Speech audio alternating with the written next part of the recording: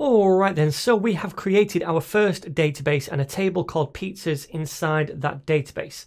Now I'd like to show you how to connect to a database from PHP. Now to do that, we're going to need to connect with a username and a password. Now we can use the default root username and you can set the password in the user account section right here. But if you do this, then you'll need to update the config.inc file in the phpMyAdmin directory. Or we could just create a new user for this database and connect using that. And I'll show you how to do that.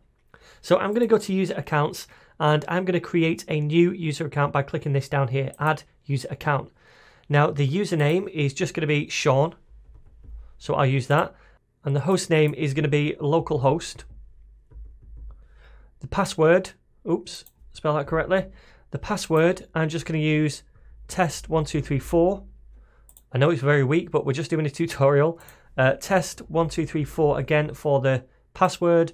And then we're just going to go down here and check all to allow global privileges. This is going to allow it to basically do anything with the database, write to it, read from it, etc. So I'm going to come down here and press go and that is going to create this new user for me. Okay, so we have this user account now and if we click over here we can see Shaun right there has all privileges. So we're going to connect with that user account. Alright then, so back to the code. I'm in index.php and this is where we're going to initially connect to the database because eventually what I want to do on the index page is retrieve all the records from that table, the pizzas table, and show them on this page, okay? So we're going to connect at the top right here.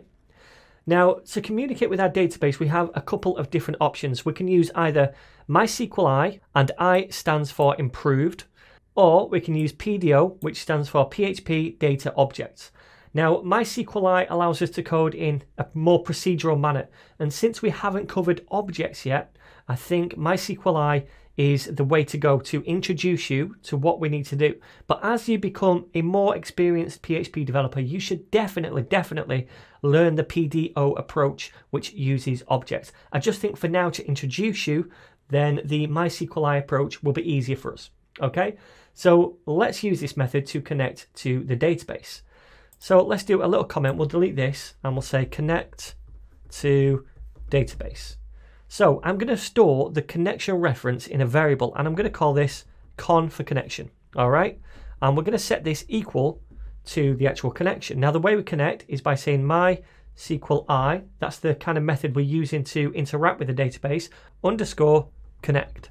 And this is a function and it takes four parameters. The first parameter is the host, which is localhost. And then the second parameter is the username, which is Shaun. That's the user we just created. The password for that was test1234.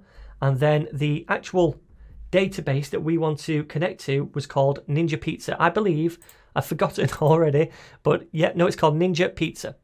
Okay, so let's put that as the fourth parameter, Ninja underscore pizza. Okay, so there we go. That there is going to go out and connect to our database not a specific table, the whole Ninja Pizza database, okay?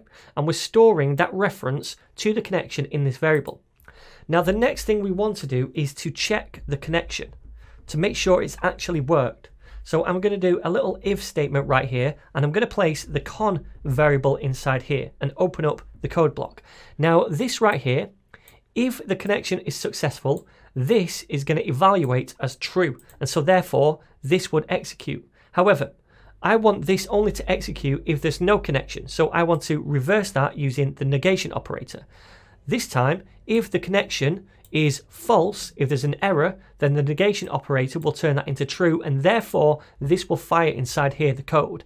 And this is where we can echo some kind of error. So we'll echo a string, first of all, connection error, and then I'm going to concatenate that, so a dot after this, and we're going to use a function to get the error if there is one. So MySQL I, and then underscore connect underscore error, like so.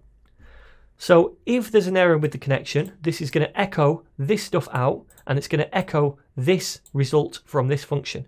And that is going to be the specific error there is. So if I save this now, I'm going to run the index file. So just go to forward slash tuts at the top and we'll get the index file. Now there's nothing echoed to the screen, which is good news because that means there's no error. But If I now change this to Ninja Pizzas, so this is the wrong database name. If I refresh now, we see we get this error at the top and it says unknown database Ninja Pizzas. So that's good. If we make a mistake in the connection, or for whatever reason it can't connect to the database, it's going to let us know right here and we can debug that. Okay, so for now, let's change this back to Ninja Pizza, refresh just to make sure this has worked, and voila.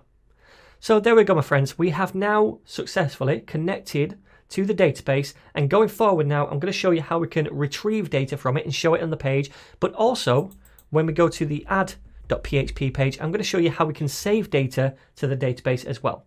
To begin with we'll show it on the index right over here so we'll see that in the next video.